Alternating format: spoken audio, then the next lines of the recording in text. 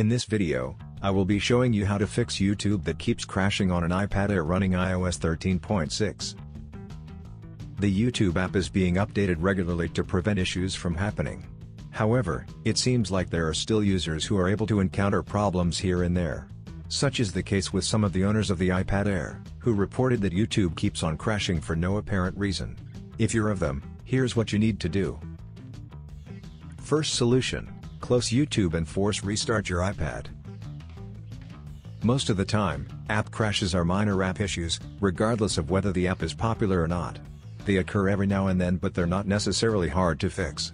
In fact, closing the app in question and reopening it might fix the issue, but it's best to also refresh your device's memory. So here's what you need to do. Double press the home button to display the app previews. Now, swipe up on the YouTube preview to close it. Do the same to other apps.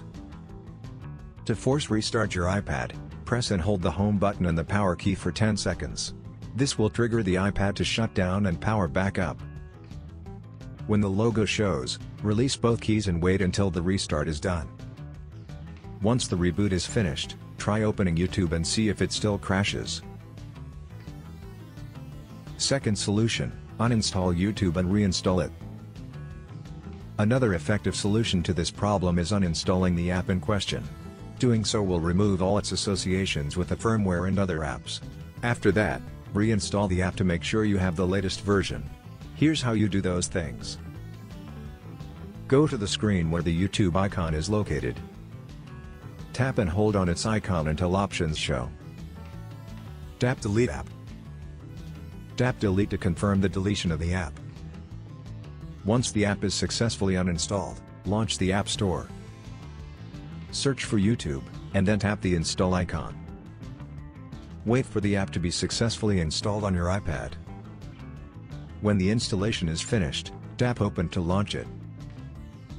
Most of the time, these are the only things you need to do to fix an app that keeps on crashing. However, if for some reason the problem continues, then you have to do the next solution. Third solution, factory reset your iPad.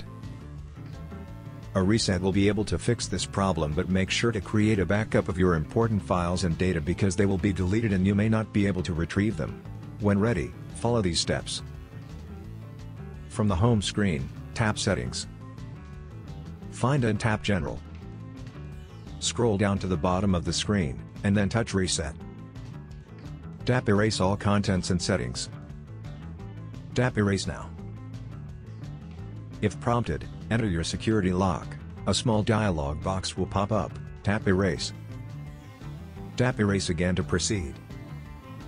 Now enter your Apple ID password, and then tap Erase to proceed with the reset. Wait until your iPad has finished the reset, and then set it up as a new device. I hope that this simple troubleshooting guide has been helpful. Please support us by subscribing to our channel and enabling notifications. Thanks for watching.